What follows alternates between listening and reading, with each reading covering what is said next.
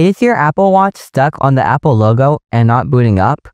This can happen due to software glitches, update failures, or system crashes. Don't worry, in this video, I'll show you how to fix the Apple Watch stuck on the Apple logo issue. So without any further delay, let's get started. Solution 1. Reset your Apple Watch. First, press and hold both the side button and the digital crown for about 10-15 seconds. If your Apple Watch is still stuck on the Apple logo, connect your charger to the Apple Watch.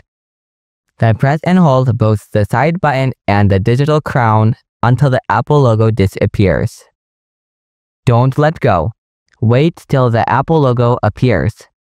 After the Apple logo appears, let go and wait for it to restart. Follow my next solution. Solution 2. Check the charger. Make sure you're using the official Apple Watch magnetic charging cable or USB-C magnetic fast charging cable. Check that the cable is securely plugged into the USB power adapter and that the adapter is firmly plugged into a working power outlet. Charge it for about one hour. If it won't work, then charge it overnight.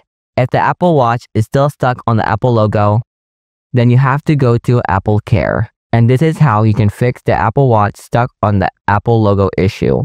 Hope you found this video helpful. Don't forget to hit the like button. If you have anything to ask, let me know in the comment section below.